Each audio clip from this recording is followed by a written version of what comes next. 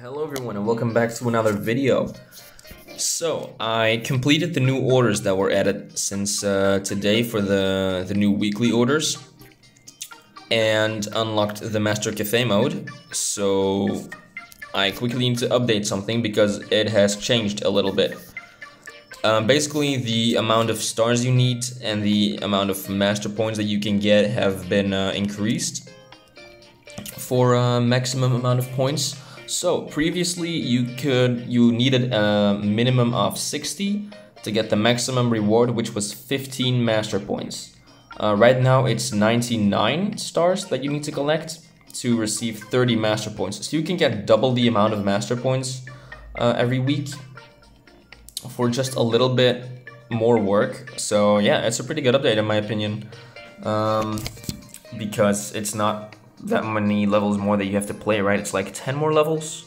Yeah, it's like 13 more levels, so you'll have to play about, let's say 35 to 40 levels instead of 20 to 25, uh, depending on if you 3-star every single level. So yeah, I just had to quickly uh, yeah, put this out there because um, the previous Master Cafe mode video has been outdated in a week. Uh, which is weird because they never updated cafe mode um, that I remember of. So this is just, yeah, an update that they threw out there. So yeah, let's take a look. I don't think anything has changed. Did they add any new prices? No, I don't, nope, they didn't add anything new. So just the amount of points that you can gain has been increased and the amount of stars needed has been increased as well. So that's basically gonna be it. Um, but yeah, I thought that was kind of important to let you guys know.